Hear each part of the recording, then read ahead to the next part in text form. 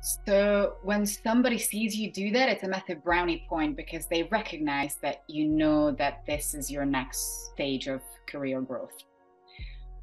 In the UK, we're only taking child hours to the point where every time they step on and step off, that's a meaningful point for them because they're working to certain hours. For adults, you don't need to, say it's just the first time that they step on set, when they go for lunch, not even when they come back from lunch and when they wrap and when they leave at the end of the day. So it, it's only in the beginning of the day like times for if if somebody is really interested. But as as an AD you don't necessarily do a very detailed report on when they go to makeup when they go to costume but it can be a very useful thing for when they are effectively late every single day or when they're taking way longer than anticipated and a producer level is asking you what the fuck is happening on the floor or at base, then you have the documentation.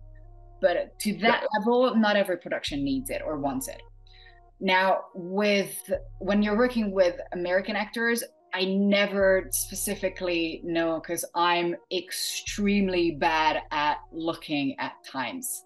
Even like with when we're moving on, from one shot to another because you do that with setups as well. That that's yeah. the other thing that goes into the AD report. When are we starting a scene or a new setup and when I, it's usually by scenes.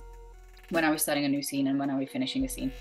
I'm terrible at that. It's it's just not instinctive for me to immediately look at my phone and sometimes i just ask like whenever i'm i'm seconding or i need this kind of information i just establish a completely new chat with whoever is reporting. Sometimes it's a runner because sometimes third ADs just pass this on.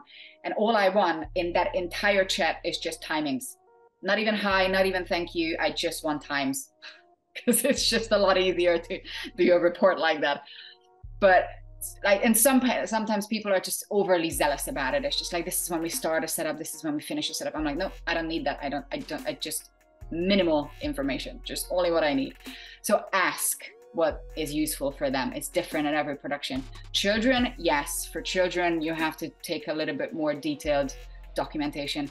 And I think it's in the American equivalent of the equity deal that um, some American actors are working to certain hours. So it's really important to count those hours. So that's when you are just paying attention to when they step on and step off a little bit more but those are just rare cases and, and people who are doing the documentation will be able to tell you what they need exactly